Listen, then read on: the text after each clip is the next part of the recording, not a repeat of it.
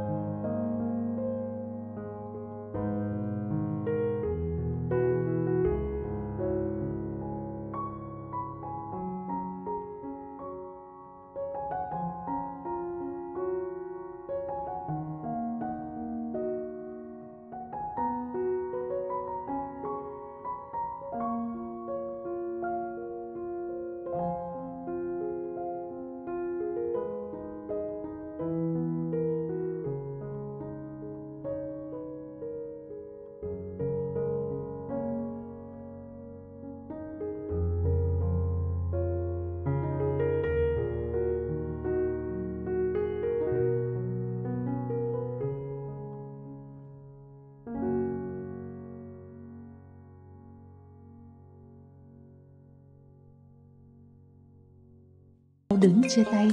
Nàng công bị nhốt vào buồng kín. Chàng công chạy về chân núi tam đảo. Từ đó, hai người chẳng có cách nào gặp được nhau. Tiếng sáo chàng cốc không vọng tới nàng công. Nước mắt nàng công chỉ mình nàng biết. Đã qua bao ngày mà không thấy nàng công tới. Chàng buồn bã, nhớ thương tuyệt vọng. Chàng cốc héo hon mà thác.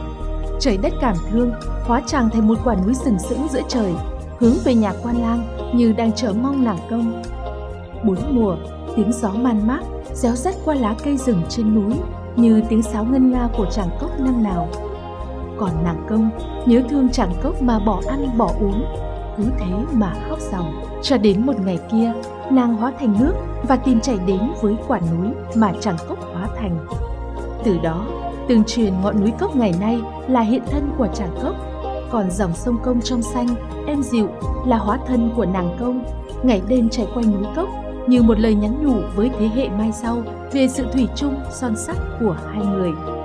Băng qua những đồi trẻ xanh mướt, ngát hương đồng nội, trải dài dọc hai bên những con đường nhựa, từ Thịnh Đán qua Tân Cương đến Phúc Triều, khu du lịch Hồ Núi Cốc hiện ra trước mắt du khách với không gian thoáng mát, một vùng trời nước mênh mông, thơ mộng như chiếc gương khổng lồ soi chiếu lung linh mọi cảnh vật xung quanh. Xa xa, dãy tam đảo như bức tường thành xanh thẫm, bồng bềnh mây trắng, cùng với những hòn đảo phủ dập bóng xanh chạy dài sát mép hồ, làm cho hồ núi cốc càng đẹp và càng quyến rũ hơn. Núi ôm ấp hồ, hồ lồng bóng núi. Qua cổng chính, du khách sẽ bước vào thế giới huyền ảo của khu du lịch hồ núi cốc. Nơi đây là quần thể khu du lịch sinh thái rộng lớn với diện tích lên tới 19.000 ha. có nhiều loại hình du lịch, dịch vụ phong phú và đa dạng như nghỉ dưỡng, du lịch văn hóa, tâm linh, ẩm thực, vui chơi giải trí phù hợp với nhiều lứa tuổi. Bởi vậy, tùy theo sở thích của mình, du khách có thể thỏa thích lựa chọn địa điểm khởi hành trong hành trình tham quan khu du lịch Hồ Núi Cốc. Với những khách thế hệ trẻ, thì khu trò chơi trong nhà và ngoài trời thường là địa điểm tham quan đầu tiên, sôi động và hấp dẫn. Với sự đa dạng và cuốn hút của những trò chơi như tàu lượn siêu tốc, đu quay, săn thú, lái xe điện đụng, đĩa bay, máy bay, đua xe, thú nhún, xem phim 7D và rất nhiều trò chơi điện tử sinh động khác sẽ đem đến cho du khách những trải nghiệm vui vẻ và sôi nổi bên bạn bè và người thân. Với khuôn viên rộng tới hơn 10.000 m2, khu vườn động vật hoang dã luôn là một lựa chọn không thể bỏ qua của du khách, nhất là với các bạn nhỏ. Khi tới đây, du khách sẽ được ngắm nhìn rất nhiều loại động vật như khỉ, vượn, hươu, nai, công và nhiều loài chim quý. Đặc biệt, du khách có dịp trải nghiệm trò câu cá sấu cực kỳ mạo hiểm nhưng không kém phần thú vị. Đến với khu du lịch Hồ Núi Cốc, du khách không chỉ được tham gia các hoạt động vui chơi mà còn được hòa mình vào không gian văn hóa đặc sắc, đậm tính nhân văn và ý nghĩa giáo dục sâu sắc khi du khách tham quan quần thể hang động nơi đây. Tại động huyền thoại cung, du khách được đắm mình vào câu chuyện huyền thoại đầy tính bi thương giữa nàng công và chàng cốc, một mối tình thủy chung còn mãi lưu truyền mai sau. Đến thăm núi cốc sông công, nghe câu chuyện cũ nỗi lòng xót thương trải qua trăm gió ngàn sương mối tình son sắt, thủy chung mãi còn. Động thế giới cổ tích và âm phủ sẽ mang lại cho du khách những trải nghiệm mới thông qua những câu chuyện về đấng siêu nhiên, câu chuyện truyền thuyết đậm tính nhân văn, mang tính giáo dục hướng thiện và lòng nhân ái của con người. Tiếp đến, du khách sẽ đến với động huyền thoại ba cây thông, nơi đây tái hiện lại câu chuyện tình giữa hai người con trai song sinh và một người con gái. Theo người xưa truyền lại, ở một làng kia, có hai anh em sinh đôi giống nhau như hai giọt nước. Cả hai chàng trai cùng tài giỏi và rất hiếu thuận với cha mẹ. Một ngày nọ, người anh xuống núi và tình cờ gặp cô gái xinh đẹp nhất vùng. Ngay từ lần gặp đầu tiên, tình yêu của đôi nam nữ đã nảy nở. Ngày hôm sau, khi cô gái đang mong chờ chàng trai hôm qua tới, thì cũng là lúc người em của chàng xuống núi và cũng tình cờ gặp cô gái xinh đẹp này. Giống như người anh của mình, người em cũng say đắm trước dung nhan của cô gái xinh đẹp Tưởng rằng gặp đúng người con trai hôm trước nên tình yêu của người con gái càng thắm thiết. Nhưng nàng có ngờ đâu, người con trai đứng trước mặt mình là một người khác. Chuyện tình tay ba cứ thế tiếp diễn mà chẳng ai hay biết có sự nhầm lẫn. Cho đến khi cô gái nhận lời hẹn của hai chàng trai để tính chuyện trăm năm. Đúng ngày hẹn ước, dưới ánh trăng vàng thơ mộng, hai anh em song sinh và cô gái cùng xuất hiện cùng một nơi và cả ba đều hết sức ngỡ ngàng. Khi hiểu ra sự tình, Hai anh em song sinh và cô gái chỉ biết nhìn nhau, không nói nên lời. Biết mối tình éo le của ba người, Ngọc Hoàng đã bàn phép cho họ được ở mãi bên nhau bằng hiện thân là ba cây thông, hai cây hình nam, một cây hình nữ để lưu truyền câu chuyện tình cảm động và bi ai cho đến mãi mai sau. Với không khí mát mẻ, cùng hệ thống ánh sáng, âm thanh sống động, nội dung được sắp xếp hết sức khoa học và logic, cùng hệ thống hang động ly kỳ sẽ làm cho du khách như lạc vào chốn huyền thoại hòa mình với nhân vật, thương cảm và động lòng trắc ẩn mỗi khi tham quan nơi này. Kết thúc hành trình tham quan quần thể hang động, du khách không khỏi ngỡ ngàng khi dừng chân ở công viên nước thoáng và rộng hơn 3,4 hecta.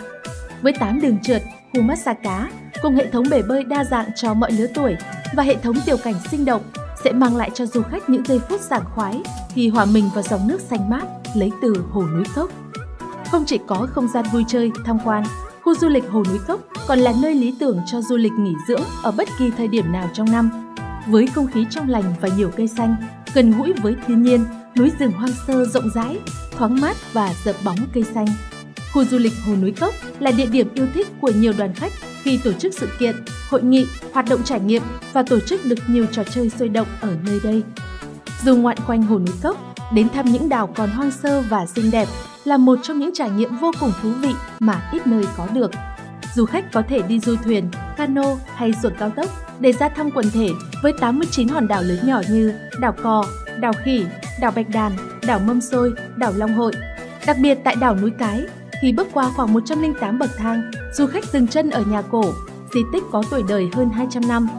Nhà cổ được làm bằng gỗ lim là một kiệt tác về kiến trúc đây từng là nơi hội tụ của hơn 1.000 hiện vật là các sản phẩm của hơn 90 làng nghề truyền thống trên khắp đất nước lướt nhẹ trên lòng hồ thơ mộng, ngắm nhìn những rừng cây in bóng xuống mặt hồ tĩnh lặng, xa xa là những dãy núi trùng điệp, mây trắng lượn lờ bay, cùng thưởng thức không khí dịu mát, tiếng gió vi vu như tiếng sáo du dương của chàng cốc vẫn còn đâu đây, sẽ làm cho du khách như được lạc vào bức tranh thủy mạc với cảnh sắc sơn thủy, hữu tình.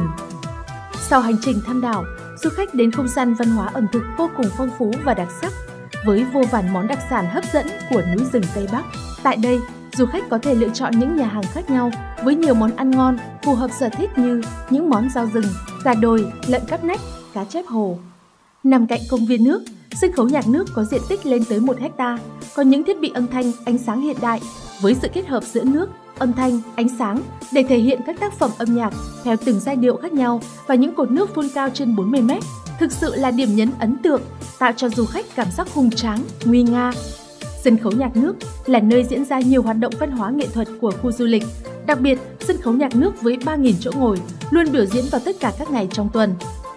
Dừng chân tại quần thể thuyết nhân quả, du khách không khỏi choáng ngợp, ngỡ ngàng và ấn tượng khi tới nơi đây bởi bức tượng Phật Thích Ca Mâu Ni màu vàng cao tới 45 mét, tọa lạc trên đỉnh núi, hướng mặt ra hồ núi cốc với thần thái từ bi, hùng vĩ và nổi bật từ xa như để phổ độ cho chúng sinh muôn nơi. Điểm đặc biệt và độc đáo nữa của bức tượng này đó là có chùa thiêng thác vàng nằm trong với ý niệm trong chùa có Phật, trong Phật có chùa. Với diện tích gần 5.000 m2, đây là ngôi chùa nằm trong lòng Phật lớn nhất miền Bắc, đã được Trung tâm Sách Kỷ lục Guinness công nhận. Khi tới đây, du khách không chỉ sửng sốt trước kiến trúc vô cùng độc đáo, cảnh quan đầy uy nghiêm và thanh tịnh của chùa Thiên Thác Vàng, mà còn được đắm mình vào khung cảnh huyền ảo và cùng lắng nghe về truyền thuyết của ngôi chùa. Chuyện kể rằng, ngày xưa đã lâu lắm rồi, nơi đây là một rừng núi non trùng điệp, ngút ngàn cây lá, hoang dã chim muông.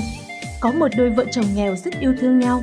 Ngày ngày, người vợ chăn tằm dệt vải nuôi con, người chồng phát nương đốn củi, đuổi thú dữ và sống chân hòa chia sẻ với dân làng. Họ thường bớt những phần thóc gạo của mình chia cho người ốm, người nghèo hơn.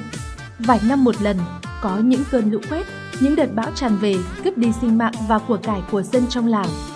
Cuộc sống vẫn cứ mãi lầm than tăm tối, nhưng bằng ý chí quyết tâm, bàn tay tần tảo, đôi vợ chồng nọ vẫn mong đến một ngày nào đó cuộc sống sẽ đổi thay.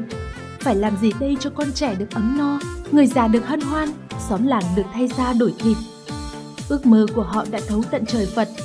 Một đêm trời trở gió, núi rừng rung chuyển, tiên ông đã hiện về trong giấc mơ của người chồng và nói Vợ chồng con là người tốt, chăm chỉ, siêng năng, lại biết lo toan cho mọi người. Ta sẽ giúp con. Các con hãy trèo lên đỉnh núi cao gần giáp với trời kia. Hãy cuốc thật sâu, con sẽ được như ý nguyện. Sau đó, tiên ông biến mất. Mờ sáng hôm sau, đôi vợ chồng cơm nắm muối vừng leo lên quả núi đó và làm theo lời tiên ông dặn. Hết một ngày đường, tận chiều xế bóng đã leo lên đỉnh núi và họ cuốc, cuốc mãi đến lúc từng tảng đá bật lên. Bỗng một tia nước tóe ra, càng khơi nguồn nước, một dòng thác toàn là vàng dòng, càng chảy ao ao, xối xả, dội xuống tận chân núi. Hai vợ chồng sửng sốt, ngỡ ngàng. Trước mặt họ hiện lên một dòng thác toàn vàng dòng. Vui sướng tột cùng, họ về gọi dân làng cả làng nôn nước kéo nhau chạy đến cùng lấy vàng. Nhưng kỳ lạ thay, chỉ những người hiền lành tốt bụng mới nhìn thấy dòng thác bằng vàng. Những kẻ tham lam độc ác chỉ thấy đất đá đổ xuống. Từ đó, cuộc sống dân làng được đổi thay ấm no, đôi vợ chồng ngày càng giàu có và hạnh phúc. Đời này qua đời khác, câu chuyện đã thành huyền thoại. Ngọn núi mang tên Thác Vàng từ đó và người ta đã lập nên ngôi chùa để tưởng nhớ công ơn của trời Phật. Thời gian trôi qua, cuộc sống hiện đại với nhiều công trình mọc lên, nhưng riêng nơi này, khi san núi thác vàng để làm các dự án công trình thì đều không thực hiện được. Chỉ đến khi xây dựng công trình quần thể thuyết nhân quả mang tính tâm linh thì mọi việc đều xuôi trèo mát mái và thành công như ngày nay. Từ đó, ngôi chùa nằm trong lòng Phật đặt trên đỉnh thác vàng năm xưa được mang tên là Chùa Thiên Thác Vàng. Phía trước cổng chùa có đặt lưu hương đá, ngay phía sau là tượng các vị thần tài, bên trái có lầu thờ quan âm Bồ Tát bên phải có lầu thờ mẫu thượng thiên, mẫu thoải và mẫu thượng ngàn. Phía kế bên là khuôn viên với các bức tượng khổng lồ, khắc họa rõ nét phong thái của những vị thần, đại sát, diêm la.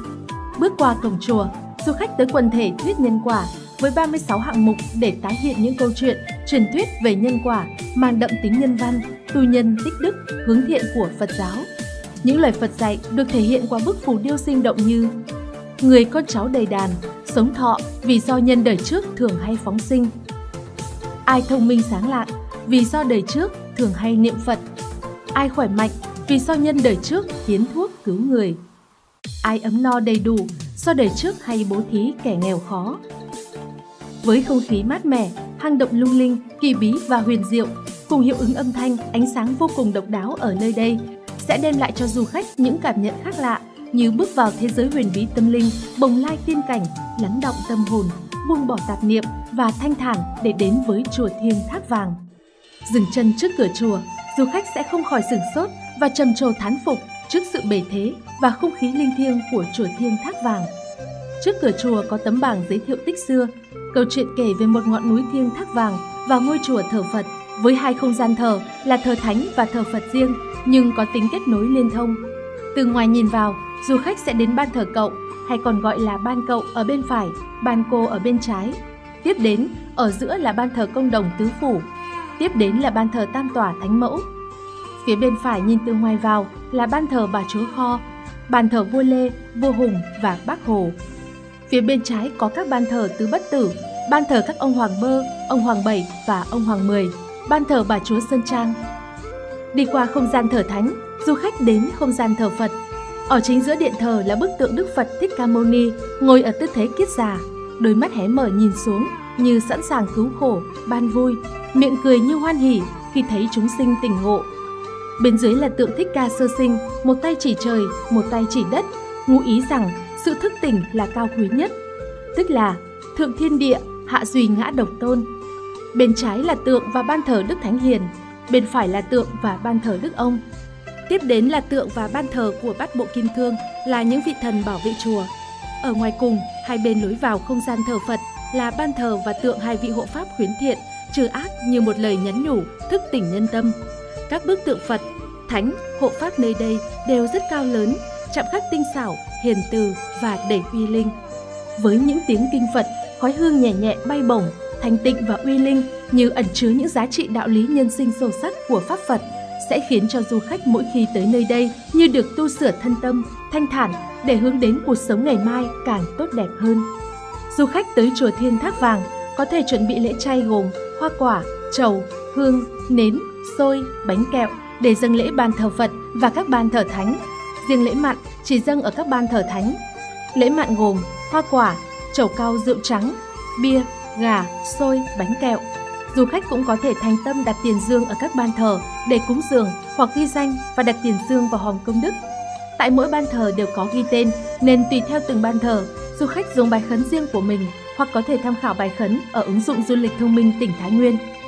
Chùa Thiêng Thác Vàng là ngôi chùa huyền bí, linh thiêng. Công trình độc đáo này còn được mang tên thuyết nhân quả như một thông điệp đậm chất nhân sinh để nhắn nhủ cho muôn đời sau. Nổi bật giữa khung cảnh núi non sơn thủy hữu tình, khu du lịch huyền thoại Hồ Núi Cốc là một quần thể danh thắng kỳ thú, thơ mộng, không gian vui chơi phong phú và là khu nghỉ dưỡng lý tưởng và thú vị. Không những vậy, khu du lịch này còn là địa chỉ du lịch tâm linh có kiến trúc độc đáo và linh thiêng. Bởi vậy, khu du lịch huyền thoại Hồ Núi Cốc là một điểm du lịch nổi tiếng, phù hợp với mọi lứa tuổi, là điểm sáng và luôn nằm trong hành trình tham quan của du khách khi tới Thái Nguyên. Với cảnh quan kỳ vĩ, quân viên thoáng mát, không khí trong lành, hàng năm, khu du lịch Hồ Núi Cốc đón hàng triệu lượt khách trong nước và quốc tế đến tham quan nghỉ dưỡng, vui chơi, hội họp, trải nghiệm và tìm hiểu những giá trị văn hóa đậm đà bản sắc dân tộc